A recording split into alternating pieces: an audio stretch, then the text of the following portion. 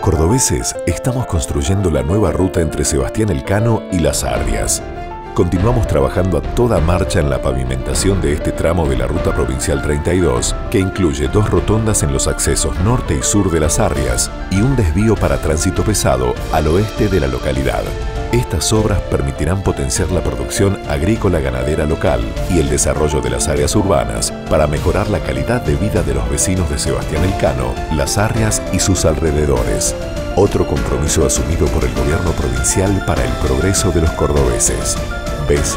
Entre todos podemos y hacemos más.